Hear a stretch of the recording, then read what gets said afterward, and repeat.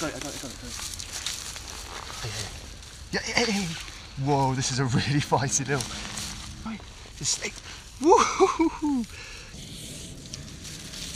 They, they strike back really quickly on, the, on themselves. This is a really little one as well.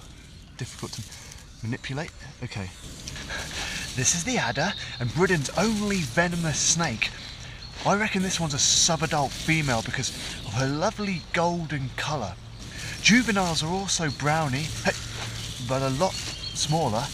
Other species of this genus include the puff adder in Africa, responsible for a heck of a lot of bites, really serious, life-threatening bites, or the Russell's viper in India, that venom would start breaking down the capillary and arterial walls. You start coughing, cough up your own blood, and die.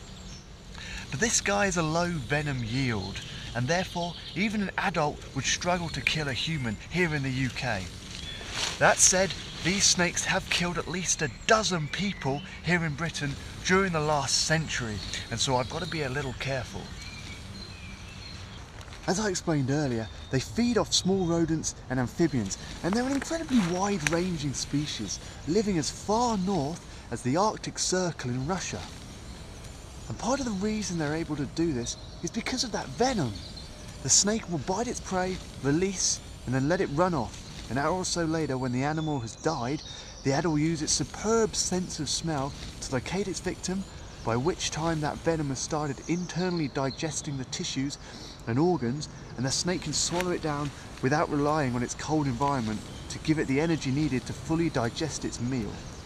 Now, although a young fox or badger may try and have a go at one of these snakes, they'll soon learn it's not worth the trouble of getting envenomated and will not be making the same mistake again. Therefore, the British adder has no natural enemies and the main reason this species is pretty much restricted to national parks and is in decline is because of human encroachment into its habitat. So I'm just going to let this one go on her way.